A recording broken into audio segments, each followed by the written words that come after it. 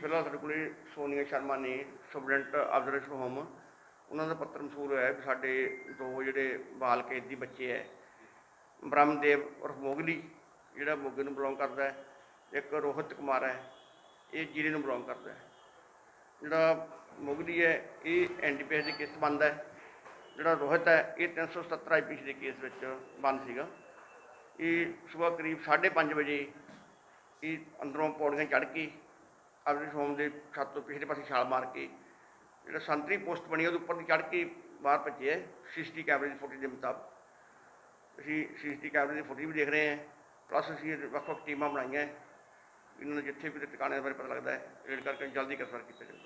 ਅਹ ਕੀ ਕਾਰਵਾਈ ਕੀਤੀ ਜਾ ਰਹੀ ਹੈ ਜੀ ਪੁਲਿਸ ਵੱਲੋਂ ਇਸ ਮਾਮਲੇ 'ਚ ਪੁਲਿਸ ਵੱਲੋਂ ਜੀ ਵੱਖ ਵੱਖ ਟੀਮਾਂ ਤਿਆਰ ਕਰਤੀਆਂ ਜਿੱਥੇ ਜਿਹੜਾ ਸ਼ੱਕ ਹੁੰਦਾ ਇਹਨਾਂ ਦੇ ਪਰਿਵਾਰਾਂ ਦੇ ਜਾਂ ਹੋਰ ਜਿੱਥੇ ਵੀ ਸ਼ੱਕ ਸਾਨੂੰ ਉੱਥੇ ਰੇਡ ਕਰਕੇ ਜਲਦੀ ਕਾਬੂ ਕਰਾਂਗੇ